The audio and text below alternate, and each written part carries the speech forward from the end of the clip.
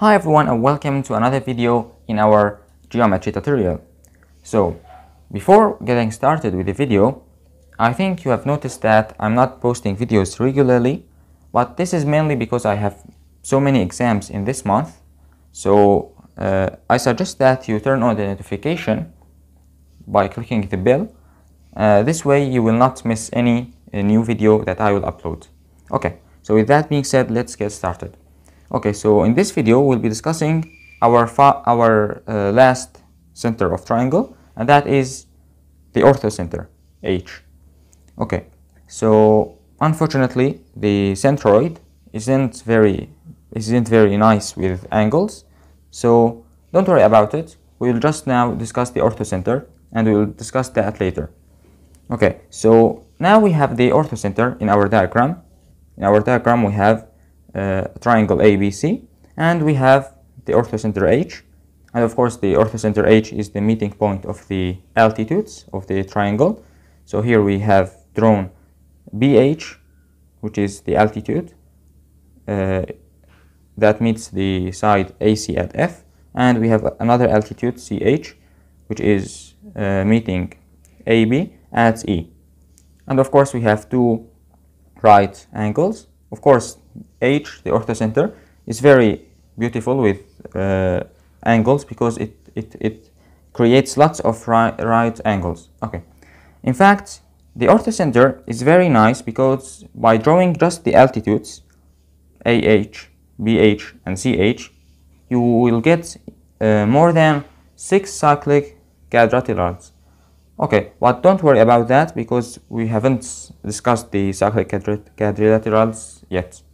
But now we'll just do our classical work and that is to find the angles, to do some angle chasing. So we will find the angle BHC.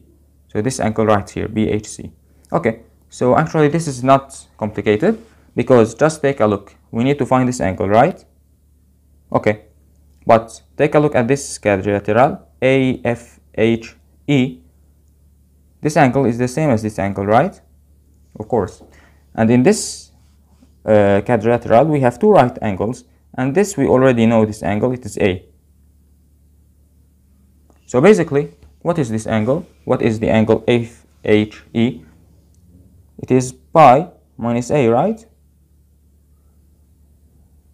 We can say that because the sum of the angles of a quadrilateral is 2 times pi, right? So this is basically pi minus a. Of course, and that means that this is as well pi minus a. Okay, so actually we're done because we already have BHC is equal to pi minus a.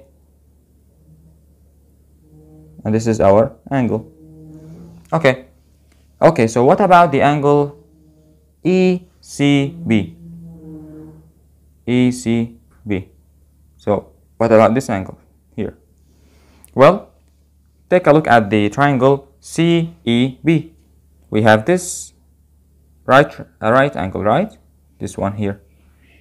And we know that this, the whole angle this is B.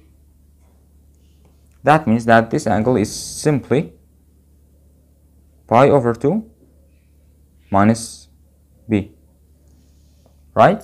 Okay so simply now we have that ECB the angle ECB is simply pi over 2 minus b. Of course here we're discussing uh, acute triangles but don't worry about uh, obtuse triangles because they are just the same. We can discuss them in the same way.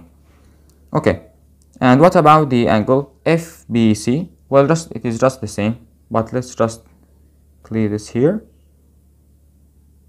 and this angle right here will be simply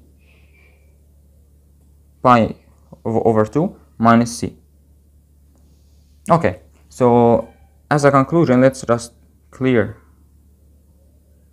these angles here okay so now what we have shown in uh, our orthocenter that the angle BHC is simply pi minus a.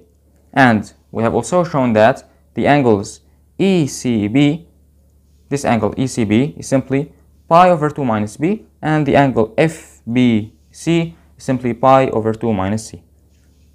So this is basically every or, or all the angles that you need to know when dealing with the orthocenter.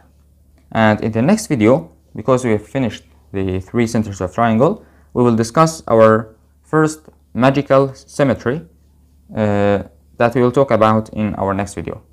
Okay, so see you in the next video.